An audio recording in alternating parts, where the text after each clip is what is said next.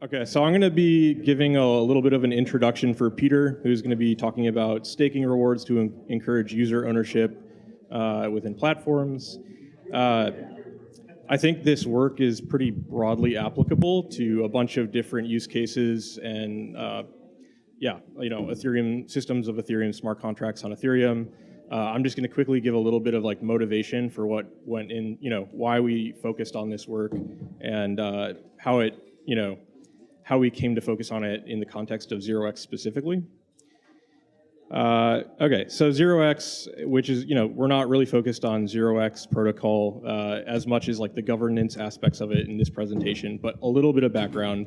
So 0x protocol is basically a system of Ethereum smart contracts for peer-to-peer exchange of digital assets on the Ethereum blockchain. And about three years ago, when we were initially designing the smart contracts, uh, we realized that we were building on top of a rapidly evolving technology stack and that the smart contracts that we build, you know, built three years ago will probably need to be changing pretty frequently, every six months or so. And so if we were to have uh, like a single monolithic smart contract that uh, was not upgradable, we run into these problems where uh, every time we have to upgrade, we have to ask our users to withdraw their assets from the first smart contract, deposit them to the next, and this leads to uh, fragmentation and churn among users. So some people just like won't upgrade at all; they'll just like stop using uh, the system. Period. And then we'll also run into the situation where some users will upgrade, but others just won't.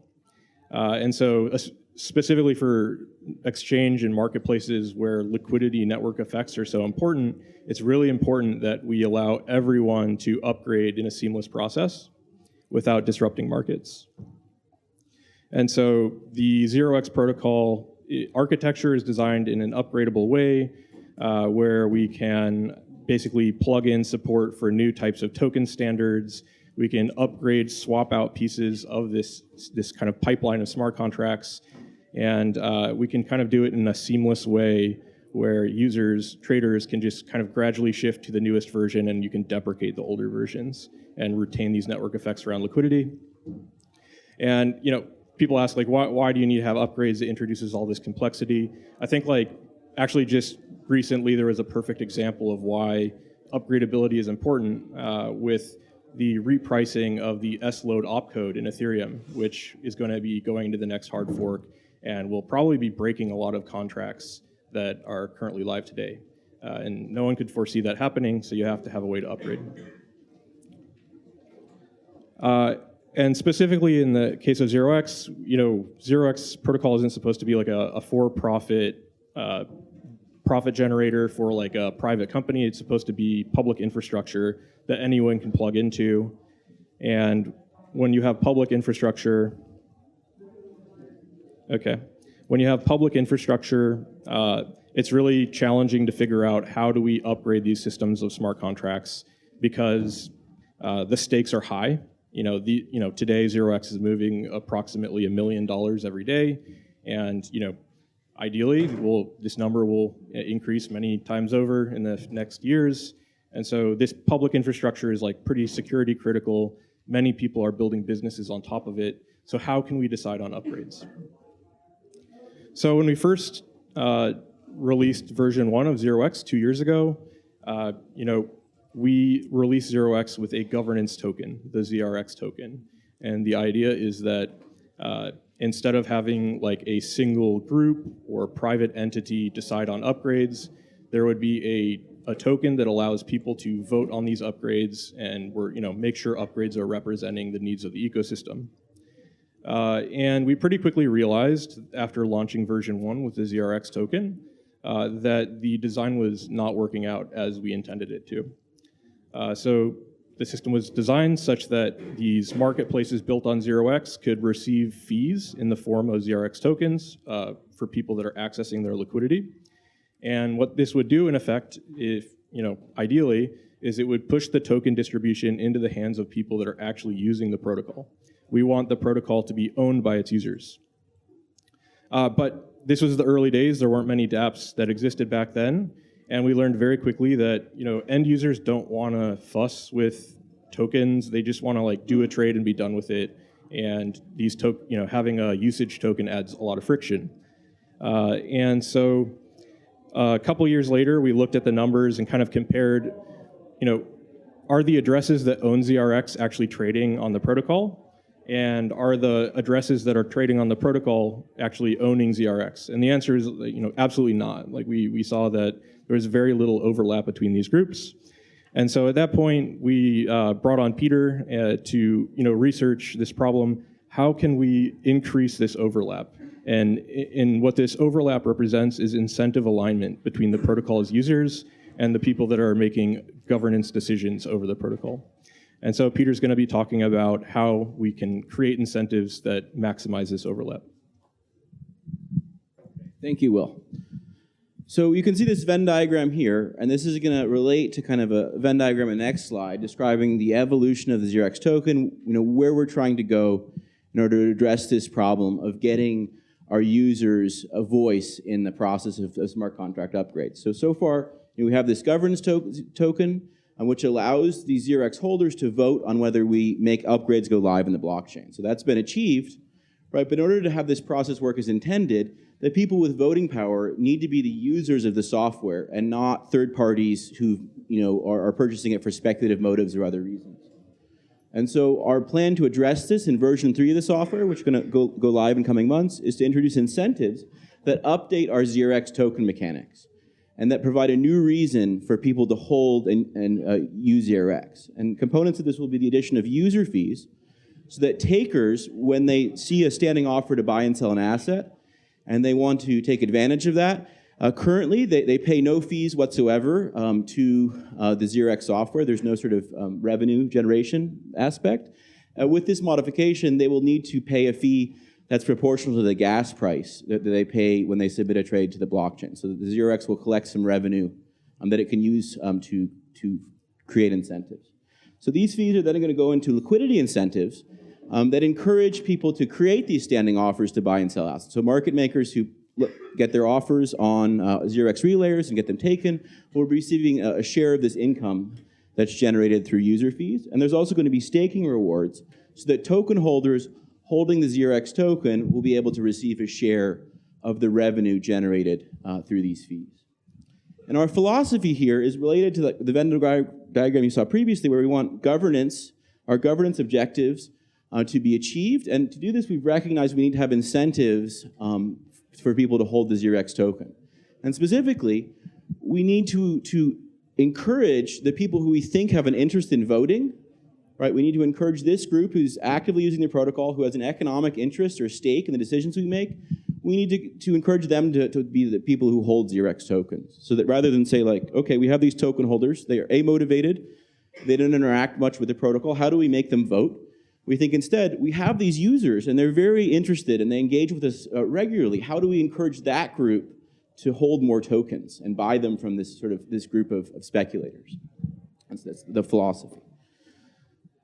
So why is this important to us, right? Well, it's, this gets back to sort of our vision for the organization, so what we're trying to work together to set out to achieve, which is to create a tokenized world where all value can flow freely, right? And we can sort of think of that as summarizing this concept of open access, open and low cost access to the ability to do online exchange of tokenized assets.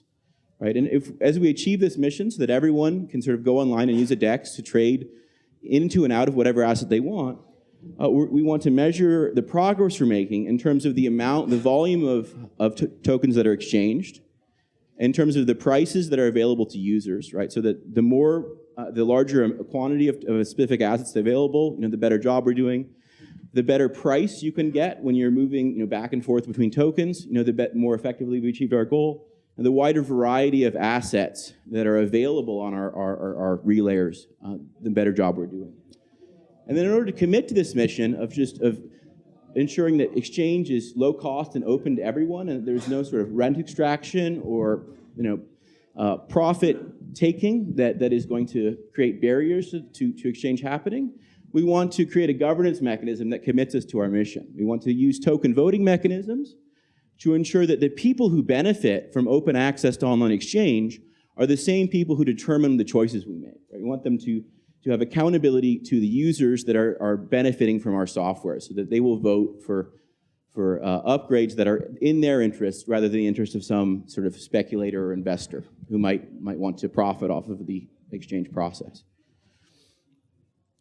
Okay, so we can still see though from the Venn diagram at the beginning, right, that we don't have a structure that really enables that accountability right now. We have tokens, uh, very few of which are actually held by active users of the protocol, who would then vote, you know, for things that that uh, are in their interest, for things that align with our organization's mission.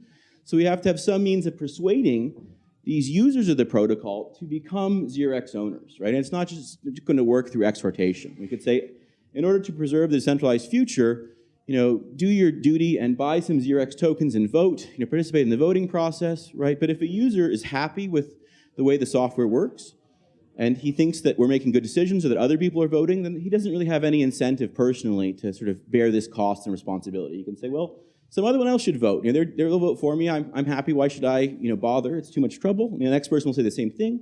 And because of this free riding problem, this is not going to happen, you know, without some intervention um, that motivates people to, to, to do this. That has to be personally beneficial for individuals before we can expect that to happen. So what we see right now is that under our current system, the incentive structure encourages tokens to be owned by speculators and does not really motivate users to, to, to buy the tokens. The voting rights not, are not enough. You know, there's the free riding problem. They're not going to cause a transition in the ownership distribution. What we need is, is some way in which 0x users can realize a material benefit from holding the token so that they can get something as a user from owning the token that's not available to anyone else. Right? So Alice uses the protocol and holds a token, and she can get a really nice benefit from that. Whereas Bob, you know, holds the token, and because he's not a user, it's not beneficial to him. It doesn't have the same economic uh, benefit attached to it. Right? So we need to create that dynamic so as to encourage the Bobs of the world to sell their tokens to the Alices, who will be owner users. Okay, and this is like, uh, I think this is a critical part of governance that is kind of under-recognized. That is, it's not just about the mechanisms we create that allow owners to influence or have voice in decisions. It's also about the identity of owners. The identity of owners matters quite a bit for what an organization will set out to achieve. It will set out to sort of represent the interest of its owners. So if we want to target a particular long-term goal, we need to pick people as owners or encourage people to be owners whose interests align with what we want to do. Right? We can't just sort of blindly assume that they will. We need to sort of introduce incentives that encourage that. So the first, you know, sort of part of this chain is token incentives, and we want to introduce uh, systems so that 0x ownership provides specific benefits that are available to 0x users, but not to someone who's simply a speculator or a third party who doesn't engage with the software. Right? And then we expect that to influence the ownership distribution, so that the non-users sell tokens to users who can derive a greater benefit from them. Right? And then this feeds into our voting process, where as users come to hold a larger proportion of the, the, the tokens, they will vote for decisions and policies that are in their interest. And in particular, if we think go back to this, like the users will prefer systems that offer specific benefits for them uh, rather than for other outside groups. Right? So this is self-sustaining. Like once uh, once an organization sort of set on this path, um, the people, the incumbents who hold the tokens tend to vote you know, for, this, for policies that sustain it because they benefit from them. Right? So in thinking about the long-term trajectory of the organization, we want to sort of lay a foundation right now of owners whose interests align with our vision. Okay, so that then leads to the, like, what do we mean by users, right? Who is a user of the protocol? Do we want everyone? Uh, who ever interacted with the 0x smart contracts to own? Does that make sense? Or do we need to be more specific about you know, what is sort of a rational structure of ownership and voter participation? So the 0x protocol has three main classes of users who might target you know, for these types of incentives. The first are relayers, which sort of host order book data. They host these offers to buy and sell assets. Uh, and the next is market makers. So market makers create these standing offers um, to buy and sell tokens. And then finally, at the bottom of the period pyramid, there are retail traders who sort of are, are the, the final end, end customers, the, the customers who take advantage of the offers of market makers and the, the sort of data availability platforms of, of relayers.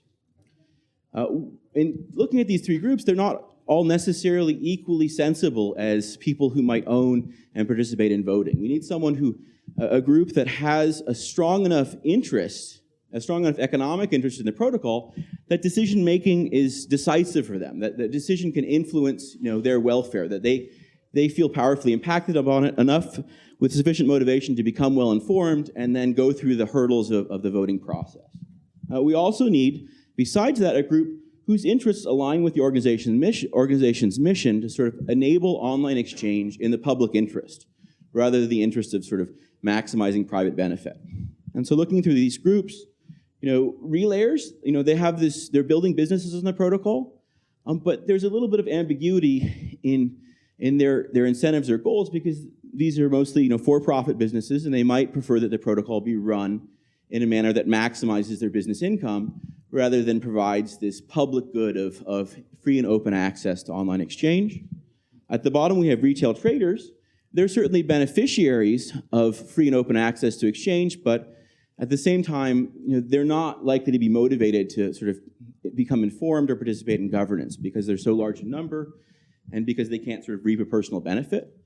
And in the middle, we have market makers, and this is the group that we sort of identified as the most logical candidate owners. So why do we think you know, that among our users, we should target uh, market makers with incentives to own the token and vote with the token, as opposed to anyone else?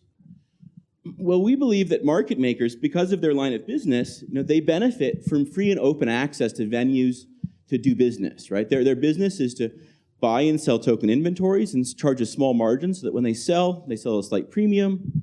When they buy, they buy at a slight discount. And the more volume they can do, the more easily they can, you know, can, can offer, make these offers, you know, the more money they can earn. So from this perspective, market makers you know, share our goal of ensuring that there's no sort of rent-seeking intermediaries who extract fees in the exchange process, right? So that they can have, say, peer-to-peer -peer connections, make an offer to an end user directly, rather than have to go through a platform which will uh, levy a large fee on the exchange. So this market maker ownership addresses a, a problem in the market structure of exchanges. Exchanges have significant uh, network economies that lead that mean that when as an exchange grows, as it does uh, host more and more liquidity, as it does more and more volume, the prices that exchange is able to offer to people fall. Right, the market becomes more efficient the more co-located liquidity you have in one place. And that gives this, these exchanges bargaining power, right? If they're big enough, they can offer these much better prices than anyone else. And they can begin to, to charge fees. They can begin to levy substantial fees in every single trade, such that even though they're, they're sort of extracting this cut, users are still better off going to the largest exchange rather than going to a much smaller one that doesn't demand any fees at all. So there's this sort of tendency towards monopoly or oligopoly market structure. And ownership matters a great deal here. So third-party owners who have created the exchange for profit maximization without a direct participation. They prefer to set high fees that will maximize fee revenue, that will maximize the income for the, the sort of exchange owner.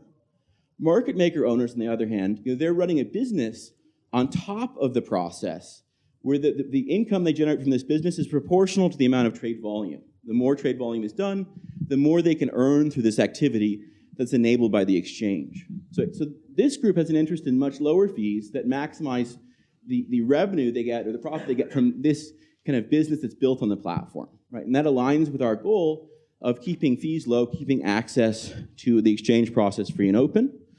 And this is, you know, this is a powerful motivator. This isn't just, you know, one of the things that is very important to me in, in deciding upon this system as opposed to alternatives is that there's a large, you know, a very impressive historical precedent for this ownership form. So for the past hundred years, you know, most equity exchanges for most of the most of the, this time, uh, in say Osaka, in Japan, or in New York, or in London, most major equity exchanges have been organized as nonprofits, uh, owned uh, uh, owned by market makers as sort of mutual organizations. So they don't sort of the market makers vote on rules for trading and the exchange itself does not distribute profit to market makers, but instead just supports their business activity. And another thing that's really important is, is okay, so is thinking about whether market makers have a stake in this process, right? Whether, whether they, it's important enough that, for them to have a voice, that they would be motivated to purchase ZRX tokens and you know go through the hassle of voting. And our experience, you know, market makers interact with us extensively, uh, giving advice or recommending changes or making demands for how they want the software to operate to make it easier to do their business. Now, these market makers, they're making a bet on the protocol's long-term success, and they're, they're, in order to learn how to market make on a DEX, they're paying a substantial upfront cost, and so they have a strong interest in ensuring this bet pays off by participating and working with us to build this kind of decentralized future. What's going on here? Okay, so and I'm, I'm going to then, you know, that sort of wraps up this discussion of what is our motivation, what is the, our vision uh, for governance of the protocol. Uh, and I want to talk about sort of the mechanics very briefly of staking and market maker incentives. So first we have like a maker, he creates an order, and then takers, whenever they take an order that is listed on a relayer, they're going to have to submit a, a fee in Ethereum, which is proportional or equal to the gas fee they're paying to the miner. So if you pay 15 cents to the miner, uh, when you submit a transaction, you'll now be paying an additional 15 cents of Ethereum as a protocol fee, which is accumulated here. And ultimately, these fees are going to be distributed back to market makers. Uh, and then in, once we've collected all this revenue, right, we have to distribute it somehow, and this is where the staking process comes in. Here we have a market maker who's going to receive a portion of the collected revenue, and the amount that he receives is going to be influenced by two things. One is the amount of trades that he does. So the more fees he's, he collects um, by posting liquidity on order books, the more um, revenue he'll, he'll get. And the other is stake. The more stake that he owns or rents from a, another a, a, ZRX, a ZRX token holder, the more money he will collect, right? So he has this incentive then to either buy ZRX himself or rent it from a third party in order to maximize his rebate income. And then finally, um, this, this um, motivation of market makers to, to sort of acquire stake that they don't own is going to mean that they'll have to pay an income stream to, to ZRX holders. Um, okay, so I'm out of time, so I should stop there.